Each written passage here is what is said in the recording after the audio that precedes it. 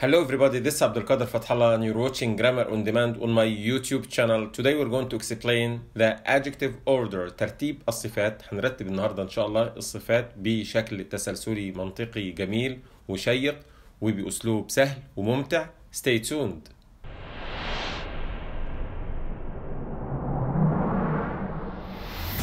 Welcome back ل adjective order ترتيب الصفات. طبعا في ناس كتيرة بتقول لي أنا بتلخبط أو ما بعرفش أرتب أكثر من صفة أو صفتين مع بعض. لما يكون صفتين بيبقى سهل الترتيب ولما بتزيد الصفات عن ثلاثة أو أربعة بتكون الصفات ترتيبها صعب وما بيكونش منطقي والذهن بيفكر وبيتأخر علشان يرتب الصفات بياخد وقت. لكن إن شاء الله النهارده إحنا هنتبع الأسلوب اللي هو التسلسلي وإن شاء الله هنتعامل مع بعض بكذا طريقة إن شاء الله حديثة وطرق سهلة وبسيطة علشان نعرف إزاي نرتب الصفات مع بعض. خلينا نتابع مع بعض الشرح. Adjective order ترتيب الصفات. النهارده يا شباب إحنا هنتعامل مع ثلاث طرق والثلاثه كويسين جدا وممتازين جدا. علشان تعرف ترتب الصفات دي كويس لازم تركز معايا. وهنبدأ مع بعض بجدول فيه ترتيب الصفات وفيه أنماط الصفات اللي هنتعامل معاها. Adjective order ترتيب الصفات. هنبدأ مع بعض يا شباب بالترتيب الطبيعي الموجود في الكتب والمعتمد. هنبدأ الأول بالopinion الرأي. بعد كده size الحجم. age العمر. shape الشكل color لون. origin أصل. وآخر حاجة الماتيريال. يبقى أنا عندي ترتيب زي ما أنت شايف اقرأ معايا بالعربي. رأي حجم عمر شكل لون أصل مادة.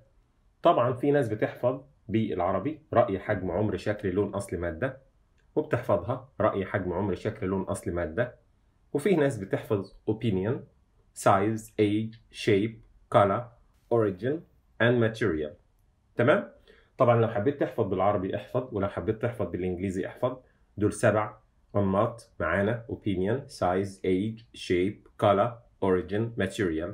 هنتعامل مع بعض مع النوع الأول opinion. هناخد أربع صفات مشهورة للopinion الرأي. هنبدأ الأول بالصفة الأولى good جيد bad سيء honest أمين expensive غالي. أي صفة من الصفات اللي أنت شايفها دي بتندرج تحت رأي أو opinion أو حتى ممكن تقول شخصية so تعالوا كده نشوف السايز الصفات اللي ماشية مع الحجم. عندي أربع صفات. الصفه big كبير small صغير tiny صغير جدا huge ضخم. صفات العمر يا شباب أربع صفات. old كبير بالسن. young صغير بالسن. modern حديث للأشياء. new جديد للأشياء. أوكي؟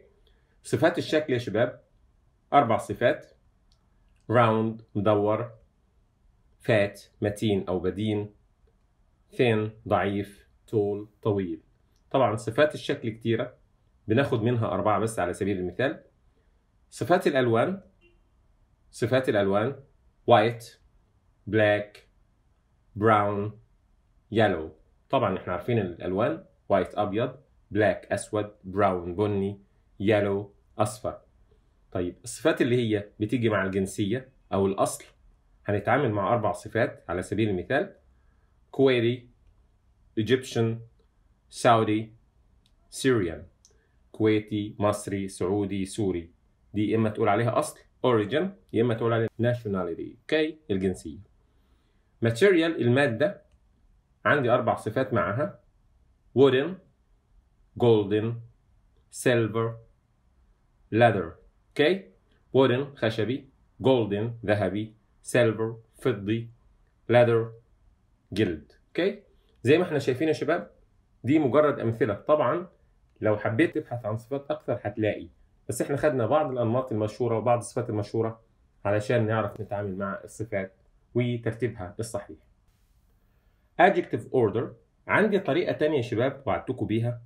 لما تيجي ترتب أنت شايف السبع أنماط للصفات اللي موجودة معانا. أول حرف فيها اسمه initial يعني الحرف الأول البادئ الأول في كل كلمة. ركز معايا لأن أنا هاخد دلوقتي النوع الثاني وكيفية ترتيب الصفات بالشكل الثاني اللي أنا قلت لكم عليه. طريقة سهلة وجميلة تخليك تحفظ الصفات بشكل كويس وسهل. أنا هبدأ أتعامل مع الإيه يا شباب؟ هبدأ أتعامل مع the acronym. the acronym معناها الحرف الأول من كل كلمة. يعني كلمة opinion هاخد منها الاو size s age a shape sh color c origin o and material الام وهعمل إيه بقى يا شباب؟ هنتعامل مع ال initials بدايات الكلمات دي زي ما إحنا شايفينها دلوقتي على الشاشة. بتطلع معايا كلمة وكأنها اسم الشركة OSASH dot com وكأنك بتحفظ اسم الشركة OSASH dot com بتحفظها؟ وما بتنساهاش إن شاء الله بتبدأ تتعامل مع ال initials بتاعه البدايات بتاعه كل كلمة. ودي طريقة سهلة برضو يا شباب بالنسبة للناس اللي مش عاوزة تحفظ عربي فبتحفظ كلمة OSASH dot com أوكي؟ دي طريقة برضو سهلة ومبتكرة. عندنا طريقة ثالثه دلوقتي هنشوفها مع بعض يا شباب. يبقى الطريقة الثانية معانا دي acronym الحرف الأول من كل كلمة.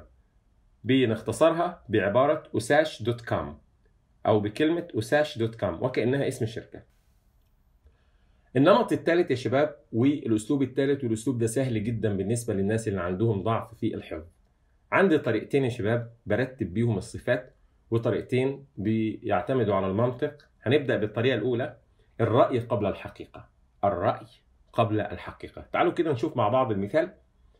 Ali is a young friendly teacher. ركز معايا. لما تيجي تبص كده كلمة friendly رأي. يعني إيه رأي؟ ده وجهة نظر.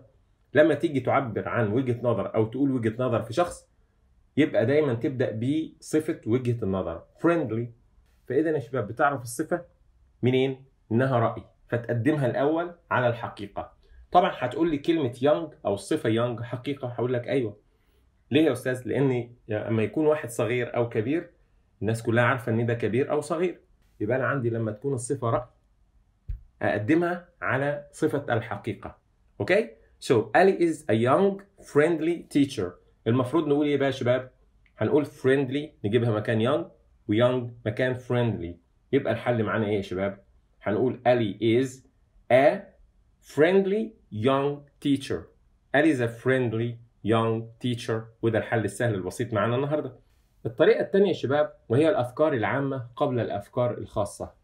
دايما نبدأ ب general ideas أو general adjectives قبل specific adjectives الصفات الخاصة. تعالوا كده نشوف المثال ده. I bought a leather new bag for my wife. أوكي مركز معايا إن أنا عندي كلمة أو الصفة leather دي صفة خاصة. أما كلمة new دي صفة عامة. هتقول لي إزاي؟ هقول لك كلمة new حاجات كتيرة جديدة.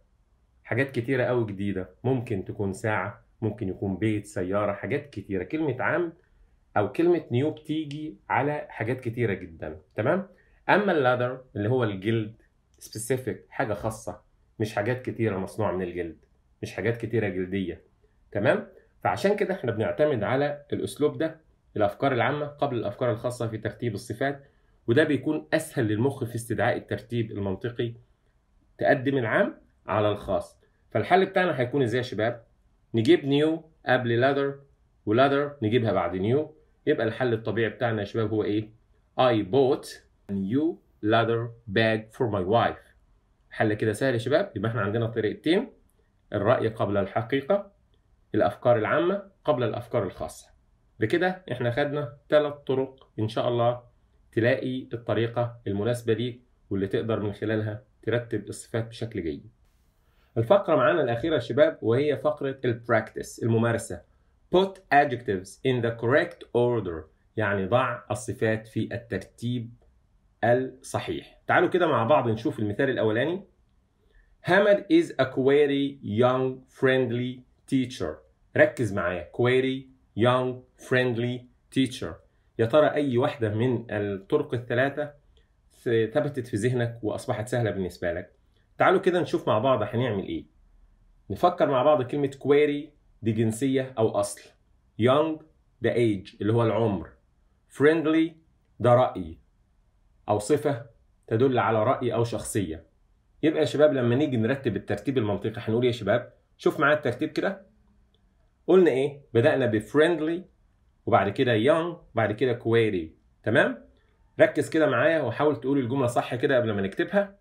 Hammer is a هنقول إيه يا شباب a friendly young query teacher ركز بدأنا بفريندلي شخصية أو رأي young age العمر query اللي هو الأصل أو الجنسية Hammer is a friendly young query teacher تمام؟ تعالوا نشوف المثال الثاني I bought a Japanese modern powerful car I bought a Japanese modern powerful car. اشتريت سيارة Japanese أصل modern تقدر تقول عليها. العمر age. Powerful يعني قوية.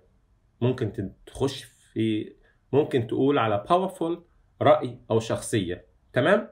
So لما تيجي ترتب هنرتب إزاي يا شباب؟ نفكر كده مع بعض. هنقول إيه؟ تعالوا نشوف الترتيب. هنبدأ بكلمة powerful أو الصفة powerful الأول وبعد كده modern وبعد كده Japanese. يبقى الترتيب بتاعنا يا شباب I bought a powerful modern Japanese car. I bought a powerful modern Japanese car. Powerful دي رأي أو شخصية.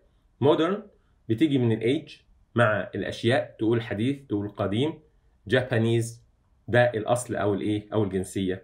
تمام؟ So المثال الثالث معانا. فاطمة is an Egyptian nice small girl. تمام؟ فاطمة. فتاة إيه؟ Egyptian nice small girl.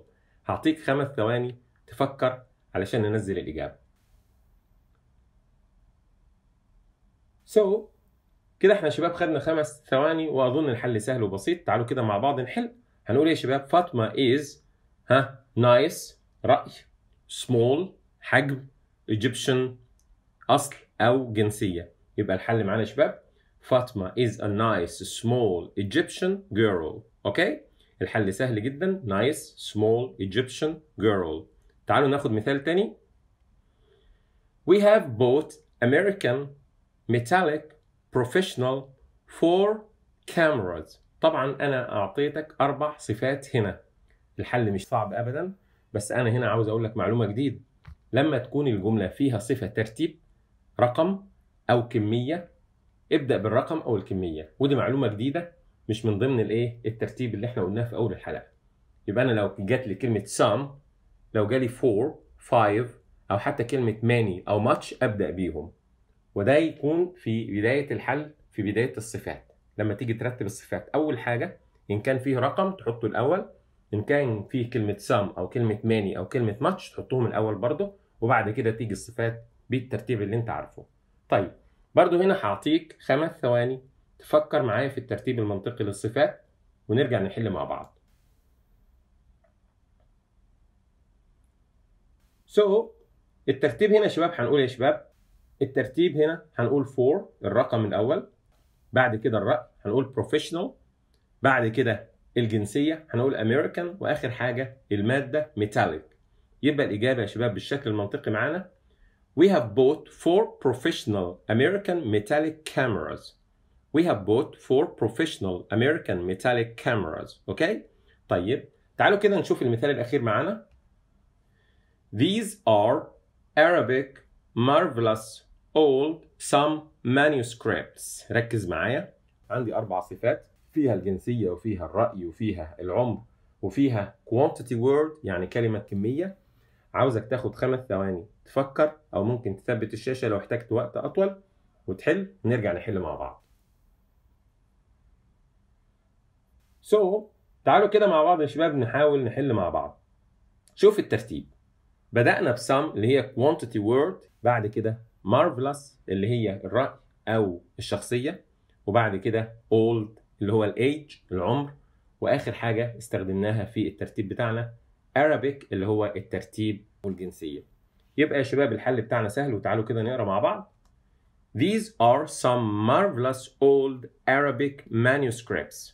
Some marvelous old Arabic manuscripts. طبعا زي ما إحنا شايفين العبارات والجمل أصبحت سهلة. زي ما شفتوا شباب الشرح سهل وبسيط وإن شاء الله تكونوا استفدتوا من الحلقة. حاولوا تسمعوا الحلقة أكثر من مرة وتعرفوا زمايلكم بالحلقات خاصة الفترة اللي جاية بالنسبة للناس المقدمة على الامتحانات. حاولوا تسمعوا الحلقات وتعرفوا زمايلكم بالحلقات إن شاء الله. نكون وصلنا لنهاية حلقتنا. نختم كما علمنا رسول الله صلى الله عليه وسلم. سبحانك اللهم وبحمدك نشهد أن لا إله إلا أنت نستغفرك ونتوب إليك.